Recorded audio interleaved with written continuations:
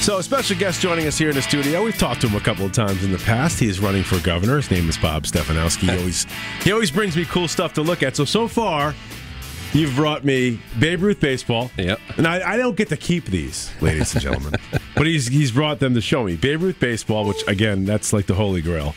And last week we were signed autograph. Last time signed autograph Muhammad Ali. Yep.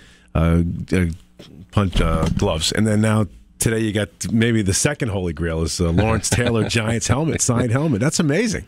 Yeah, it's one of my favorites. Babe Ruth baseball first, I think, and LT second. Yeah. the guy was amazing. Yeah. So you got a whole wall full of stuff. Is that the deal? Yeah, I've been doing it for 10, 15 Yeah. years. The, the, the Babe Ruth baseball, though, I told you last time, was my midlife crisis. Oh, It was either that or buy, buy a new car. a Corvette or a Babe Ruth ball. Yeah, Got it. exactly. Now you made the right choice. I You made the you're right. choice.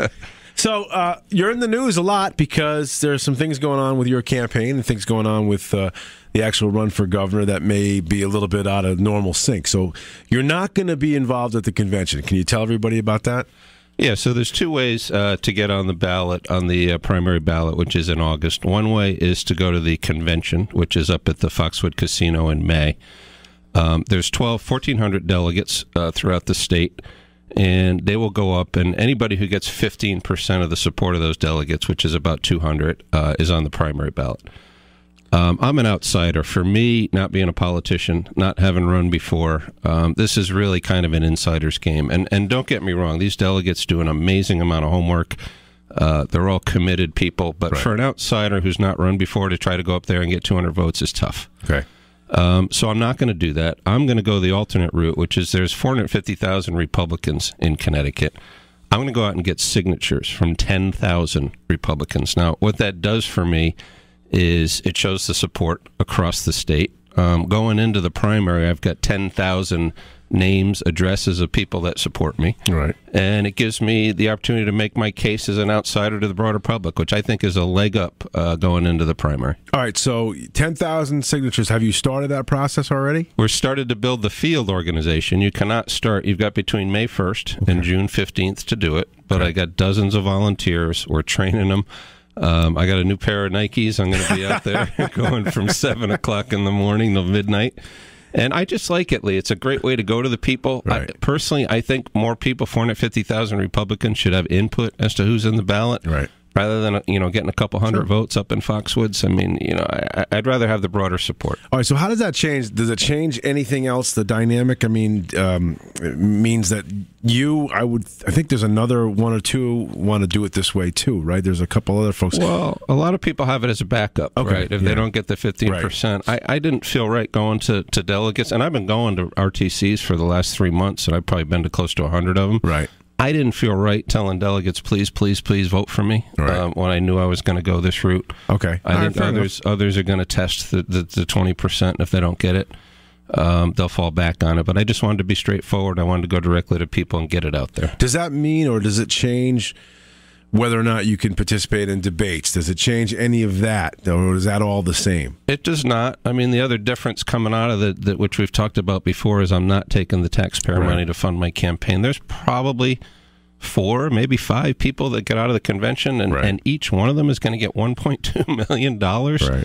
of taxpayer money to run their campaign. As you know, I got a philosophical problem with Yeah. that. Um, you know, running around with bumper stickers and yard signs saying we need to be more fiscally disciplined in Connecticut, and then in the next breath taking 1.2 million of taxpayer money to do it. I, I'm not doing that. I'm Yeah. funding it by taking donations across the state. Now, You were talking. That was one of the first things you actually were running on when you first came in here to talk Yeah. about things. Was about the total amount of money that's going to be literally flushed down the toilet in a way. Uh, I mean, because what was it? Twenty million bucks, Up- upwards of that, right? It could be 30 to Yeah. 40 million. You've got on both sides of the aisles, you got 32 candidates right now. And part of the reason you do is fundraising is generally a filtering process, right? People that can't raise the money voluntarily drop out. Right. Here, if you've got the, you know, if you've got taxpayers paying for it, why drop out? Right. Just kind of hang around. So there, there's no filtering process. See, a lot of people are concerned, I guess, about self-funders, if you will, people who you know have come into the game with their own uh, bank account or checkbook, and I don't, I've never really understood that. Right? To me, you know, you've made a success out of your life, and you want to take time out of you know you want to do your thing and you're not asking people to give you a lot of money or money at all. They can do it Right. if they like, but they don't have to. Right. And you're self funding. I mean, listen, because they look at Linda McMahon or they look at the last candidates and they say to themselves, well, they were colossal disasters. But that was because the candidate was flawed, not necessarily because they had money, right? Yeah, listen, I, I, I'm a blue collar guy, Lee. I told you during the break. My dad ran the scoreboard at the Yale Bowl for 40 years. I went to North Haven Public High School. I got beat up every other week. you know, You're a giant. You're like seven feet tall. How's Yeah. that possible? yeah, but I was pretty thin at the time. You know, I, I worked hard. I went to the public schools. I got a big job at UBS where I was CFO of a $500 billion business Right. over 35 countries. Uh, more people. One of the reasons I'm running is more people in Connecticut should have the opportunity that I did to, to be successful. And and if I can do that and uh, you know fund my campaign throughout the state and put some of my money in and not force taxpayers to pay for it, I'm going to do that all day long, and I'm not going to be. I'm going to be proud of it. All right. Bob Stefanowski, by the way, is our guest. Your website, folks can go to it so we know. BobForGovernor.com. All right, if you want to ask him a question, something I missed, we've got him to the bottom of the hour, 860-464-9490-631-317-1949. Let me take a very quick break. We'll come back. We'll talk about some of the issues. Bob Stefanowski's here with us in the studio. So we're back. Bob Stefanowski's with us here in the studio. See, Bob takes the time out, gets in his car, comes to the studio. Not everybody does that. I like that. Anyway, Bob is here with us, and we appreciate that. And again, we're talking about the process for, you know, by the time it's all said and done, how many folks will be running for governor. And uh, he's assured us that he's going to go out and get the signatures, so he will be part. At least towards the end of it could be three, four, five candidates by the time it's all said and done. So, uh, and you see Bob all the time. His t- television ads are on all the time, which is good. I see him uh, just about every every day above my right shoulder. You pop up, which is good. Lee just told me during the break I look a lot better on TV than I do in person at seven o'clock in the morning. Well, you were telling me your wife says he keeps, keeps turning you off when you come on. You come on so she much. was on. I was on last night. She's fast forwarding through the commercial. I'm like, Amy, that's me. She said, Bob, I'm so tired of talking about you. That's good. That's good. All right, let me ask you a couple of questions about some of the topics that Yeah. are going on. Hartford, the big bailout. Apparently, the legislators got duped. They think they got, they got tricked into this. I, again, I compare the public sector to the private sector. Eh, You know, when I was working at GE, and if I went to the CEO with an 800-page document at 11 o'clock at night and said, "You got five minutes to sign it," you know, for a 40 billion dollar spend, I would have been thrown out of the room. So to me, it's not amazing that this stuff happens. That in clause 42G.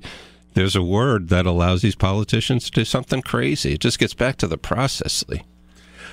All right, so how do you fix this? How do you fix Hartford? How do you fix Bridgeport? How do you fix these other places? Well, yeah, we're looking into the legalities of it, but I, I I will call a state of emergency my first week in office, and it's not because a hurricane's coming. It's because this state is in a state of fiscal emergency. Right. I would file Hartford for bankruptcy immediately. Um, we're not going to get out from under it. We just guaranteed $500 million of Hartford debt at the state level. What happens, and I predicted it last week, they, they drop your debt rating, which makes your expenses more, your interest expense more. It is a death spiral in Hartford. Right. And until somebody comes up with a rational plan to get it through bankruptcy and get it out, it's not going to get any better. And throwing $250 million of taxpayer money at the problem every year without a plan is just not the way to go. Right. And he set a precedent now because, uh, like you said, Bridgeport wants money. now you got to bail them out, or and, somebody and- else and wants what money. you do, you end up incenting bad behavior because the towns that are well well financed and, and disciplined don't get any money, Right. and the ones that are wasting it get the money. It's crazy. There's also talk, obviously, that Malloy put this all together because his buddy Bronin is uh, is in charge of Yeah. Hartford, that sinking ship, and he wants him to be the next governor. Yeah, there's probably something to that, but I can't wait till November. Lee, look at the candidates. You got a mayor of a bankrupt city. You got a convicted felon. I'm sure you saw the debate last night. I where They did. dragged this one. I mean, you can't make it up. Yeah, she made the most sense out of all of it. I thought that was pretty funny, though. Yeah. So, um, we're talking again to Bob Stefanowski here with us in the studio. So, switching from that to uh, tolls, we talk about tolls all the time, and it's just it's just obviously it's another progressive tax at the citizens of the state. Don't we have money? So, should we have money set aside already for for roads and bridges? Isn't that part of what we pay in taxes? Well, we're supposed to have the gas tax that went into a lockbox. Now, why the government needs a lockbox to do what they say they're going to do with the money to begin with is crazy. Right. And then they they raid the lockbox. So I I could go on for 20 minutes as to why these tolls are a bad idea. Um, but you can't put them near the borders because you lose the federal funding uh, from the highways. uh, what you're going to end up with is a toll on every exit. Otherwise, right. people will avoid it. It'll be a five hundred to a thousand dollar bill that everybody gets every month, just like another utility bill. And you can't trust the government to use it to fix the roads and bridges. Right. I mean, it's scary sure. that it's this close to passing. I, I, didn't think it would get this far. And now you've got also what they're they're talking about congestion. I don't know what the term is. Congestion prices. Congestion prices, right? Yeah. yeah. So if it's five o'clock and you've got to get home to work to watch your, or you got to get home because your kid's got a little league game. Yeah. Uh, you're going to have to take 95, and 95 from point A to point B happens to be where you got to drive. It's 17 bucks to go home during it's, the rush hour. That's crazy. crazy. It's absolutely. When are we going? When are the Democrats going to realize by just putting in that next tax, it's not going to change anything? How many right. times? All the way back to Lowell Weicker in, in you know 91. If you let me have this temporary income tax, things will be fine. They don't have any credibility right. anymore. So we need someone with a plan. I'll just give the quick plug to bobforgovernor.com. I got a plan endorsed by Art Laffer to lower taxes, to get this economy moving, reduce regulation, put in term limits for these government employees. You know, eh, these, these should not be jobs for life, including the governor. We got to turn it around, Lee, but we need somebody with pragmatic business spirits that's run things before. Right, and it's Bob with the number four or the the F O R. uh, he almost stumped me on that one. F O R. Bob for Governor. Check that out. All right. So, also, so tolls again. Not only does it obviously hurt the people who are driving. But if I have to go across town to my favorite restaurant, and I know that the toll is going to cost me another nine bucks or uh, twelve bucks by the time I'm back and forth, I might not go out to eat. I might not go buy sneakers. I might not go to a store that is across town because you know what? I, don't want to pay those tolls. I think it's got that ripple in a pond effect. Exactly. We need to start putting more money in people's pockets rather than taking more away and giving it to the knuckleheads up in Hartford that just do whatever they want with it. Right. That's our money. It is our money. Now there was a big rally in Hartford. I don't know if you got a chance to see how it was like a couple thousand people there, but a lot of people are passionate about their Second yeah. Amendment. Yeah. Well, listen, I, I, think it was a great event. George, who's here with me, went.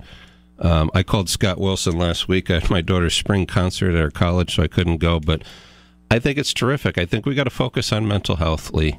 This governor persecutes, you know, law-abiding gun owners who are doing nothing wrong when the real problem is getting the guns out of the hands that people should not have them. Right.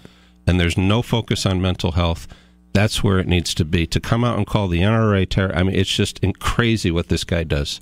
There are a lot of great people that have gone through the background checks that are doing nothing wrong. It's going after the mental health aspect. That's what I'm going to do as governor. Any chance though you would you would never let's say waver with the idea of you, you wouldn't go after magazine clip sizes and uh, types of weapons. I mean that's all we have the toughest well, We've already got are. the most restrictive in, in, in, the country. I don't think we need right. to be any more restrictive. If a new bill got to my desk, I'd look at it. I think it's unlikely, given the composition in the House and the Senate, that right. we're going to get a new bill, but I would certainly look at it again, it needs to be more of a focus on mental health. Yeah. We already got the toughest toughest laws in the nation. Bob Stefanowski's here with us in the studio. A couple more minutes left with him. We're going to run out of time, but I wanted to ask you. You know, honesty is I think what people crave, right? So you, you, know, you get politicians and they're caught and trapped in lies. They're trapped in tr- trying to excuse their way out of a situation that they've been in, and it's always going to be the best policy just to tell people the truth from the start. To let let them just sort of judge you on who you actually are, right? I agree, Lee. I mean, I just told you I got beat up in high school. How much more honest can I be than that? But seriously, when I go to an RTC, I come out of it saying this is a normal guy who's been very successful, who seems pretty smart that's not going to give me a lot of bull. He's right. going to go in there. And I'm not worried about the next election, Lee. I have no desire to be in Washington. If I'm a one term governor, that's fine. But if you're one of these politicians and your primary objective is to get reelected, you're not going to make the hard decisions, which right. is exactly what Malloy and Bronin and all these guys are doing. We need somebody. We also need somebody that's run something big. The state of Connecticut is a forty billion dollar biannual budget. Right. I ran a five hundred billion dollar company. It's ten times the size. Right. We need somebody who's done it before. Who's going to come in here and be tough and not be worried about getting reelected and doing the right thing for the economy and, and everybody else in the state. How important is it to surround yourself with good people? Too? Oh, absolutely. Right. It's number one. And I like to have diverse people around me. I don't hire a bunch of, you know, guys from New Haven that I grew up with. You right. need a diversity opinion, but then as importantly, you got to be able to make the tough decision. The debate's over, ladies and gentlemen. Here's what we're doing. Get on board. And and and Lee, I'm going to do it. Let these guys come at me when I'm governor. Let them come at me. I don't care. Let them sue me. Let them do whatever they want. But I, I'm going to do the right thing for this state.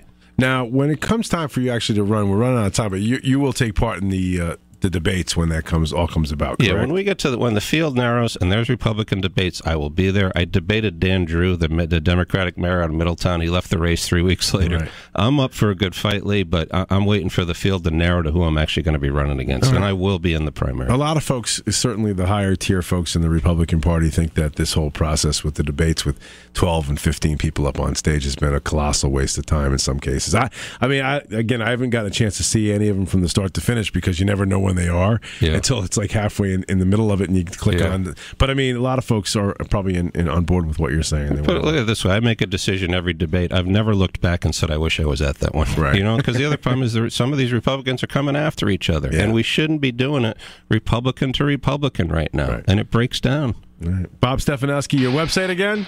BobForGovernor.com. And F-O-R. F-O-R. F-O-R. All right, buddy. Thank you. Thanks. And thanks for See showing me the uh, LT helmet. no problem. I got to. I'm going to post the picture. It, wouldn't fit your head. No. I got to tell your listeners. I'm not sure what that says. I got a giant head. I got a giant melon. thanks, Bob.